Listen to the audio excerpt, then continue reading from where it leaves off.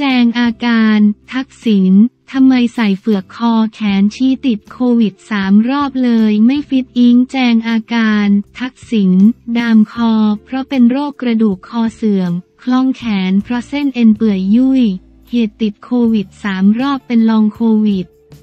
แถมอายุเยอะทำอดีตนายกรัฐมนตรีไม่ฟิตเมื่อเวลา 15 นาฬิกา 30 นาที วันที่ 20 กุมภาพันธ์ 2567 ที่พักเพื่อไทย พอทนายดนุพรปุณกันสสบัญชีรายชื่อโฆษกพักเพื่อไทยถแถลงอาการเจ็บป่วยของนายทักษิณ ชินวัตร อดีตนายกรัฐมนตรีว่าจากการสอบถามกับนางสาวแพทองทานชินวัตรหัวหน้าพัก ว่าอาการของอดีตนายกรัฐมนตรีเป็นอย่างไรบ้าง เพราะมีประชาชนที่รักและเป็นห่วงท่าน เนื่องจากภาพที่ออกมามีการดามคอและคล้องแขน โดยหัวหน้าพักระบุก่อนนายทักษิณจะกลับประเทศไทยท่านป่วยด้วยโรคโควิดลบ19ถึง3รอบ รอบแรกติดเชื้ออู่ฮั่นอาการหนักถึงขั้นเข้า ICU เป็นเดือนดังนั้นปอดจึงไม่สามารถใช้งานได้ 100%เหมือนบุคคลทั่วไป จากนั้นได้ป่วยโควิดอีกสองรอบทำให้อดีตนายกรัฐมนตรีมีอาการลองโควิดเยอะมาก เพราะท่านเป็นผู้ป่วยที่มีอายุ 70 กว่าปีแล้ว นายดนุพรกล่าวต่อว่าส่วนที่นายทักษิณดามคอนั้นท่านเป็นโรคกระดูกคอเสื่อม ซึ่งผลจากการตรวจละเอียดหรือ MRI ที่โรงพยาบาลตำรวจ ทางโรงพยาบาลแนะนำให้เข้ารับการผ่าตัด เป็นไปตามวัย แต่ท่านขอออกมาก่อนแล้วค่อยกลับเข้าไปรักษาตัวอีกครั้ง ส่วนที่คล้องแขนออกมานั้นท่านเป็นโรคเส้นเอ็นเปื่อยยุ่ย ต้องได้รับการกายภาพไม่ต่ำกว่าหนึ่งปีจึงจะกลับเข้าสู่สภาวะปกติโรคนี้เกิดกับผู้สูงอายุส่วนที่ท่านหายช้า เพราะตลอด 6 เดือนที่อยู่โรงพยาบาลตำรวจแทบไม่สามารถออกกำลังกายได้เลย ทำให้ร่างกายร่วงโรยเร็วกว่าคนที่ออกกำลังกายได้ตามปกติ ทั้งนี้ ระหว่างที่รักษาตัวอยู่โรงพยาบาลตำรวจได้รับการผ่าตัดเพื่อให้เส้นเอ็นเข้าสู่สภาวะปกติแล้วดังนั้นขอฝากไปถึงหลายคนที่ห่วงใยอาการของอดีตนายกรัฐมนตรี ซึ่งท่านพยายามรักษาตัวและพบแพทย์ตลอดเพื่อให้อาการทุเลา และกลับมาเป็นปกติโดยเร็วที่สุด ทราบดีว่ามีทั้งคนที่ชอบและจ้องจะจับผิด ถือเป็นเรื่องธรรมดา เพราะเคยเป็นนักการเมืองและเป็นอดีตนายกรัฐมนตรี ก็มีคนพูดถึงทั้งในแง่บวกและแง่ลบ วันนี้ผมขอสื่อสารไปถึงคนที่รักและห่วงท่านรวมถึงครอบครัวท่าน ยืนยันว่ามีอาการเจ็บป่วยและอาการหนักจริง จะพยายามรักษาตัวให้แข็งแรงที่สุด และกลับมาเพื่อใช้ความรู้ความสามารถของท่าน คอยแนะนำนักการเมืองทำเพื่อประชาชนต่อไป โดยผมจะอัปเดตอาการของอดีตนายกรัฐมนตรี จากหัวหน้าพักให้ทราบเป็นระยะ นายดนุพรกล่าว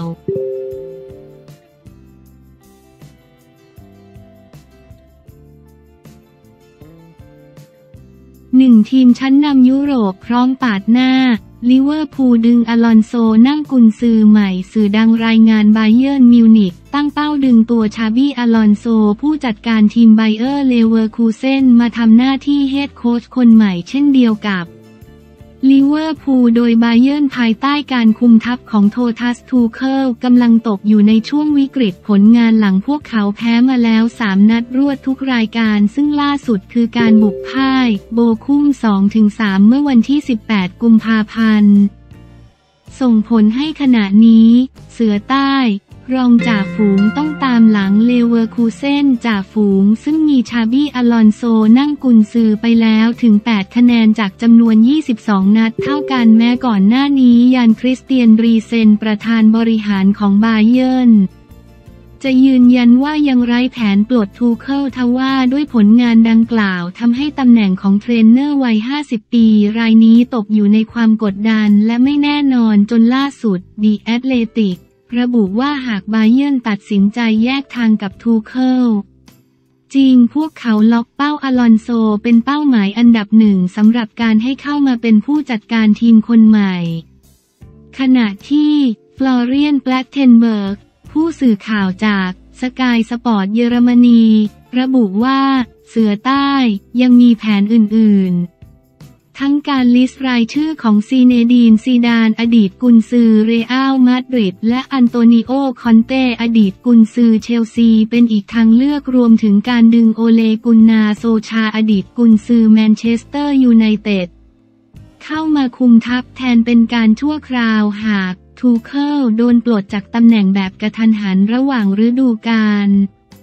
อย่างไรก็ตามนอกจากบาเยิร์นแล้วยังมีลิเวอร์พูลซึ่งต้องการอลอนโซให้มาคุมทีมต่อจากเจอร์เก้นคล็อปป์ที่จะอำลาสโมสรหลังจบซีซั่นนี้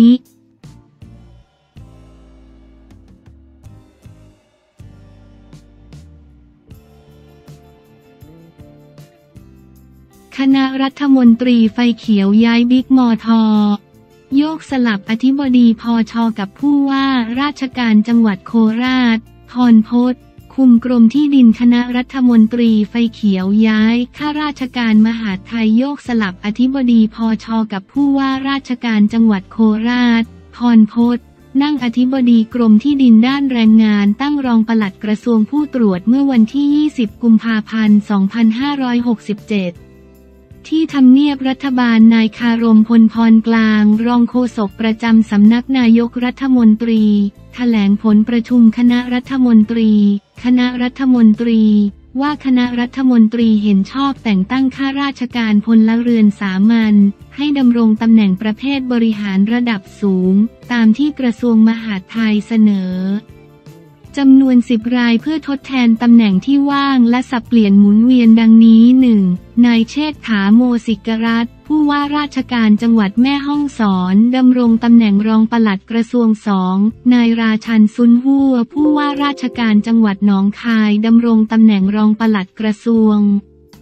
3. นายชูศักดิ์รู้ยิ่งที่ปรึกษาด้านความมั่นคง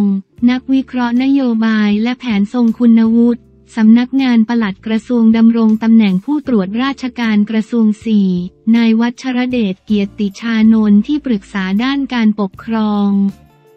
นักวิเคราะห์นโยบายและแผนทรงคุณวุฒิสำนักงานปลัดกระทรวงดำรงตำแหน่งผู้ตรวจราชการกระทรวงห้า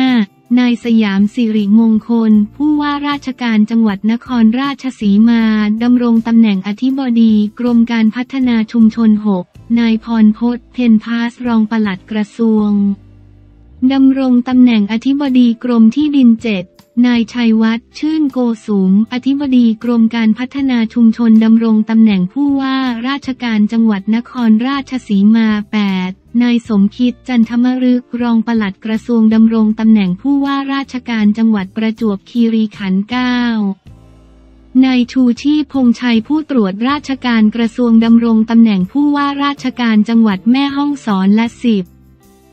นายสมภพสมิตสิริ ผู้ตรวจราชการกระทรวงดำรงตำแหน่งผู้ว่าราชการจังหวัดหนองคายสำนักงานปลัดกระทรวง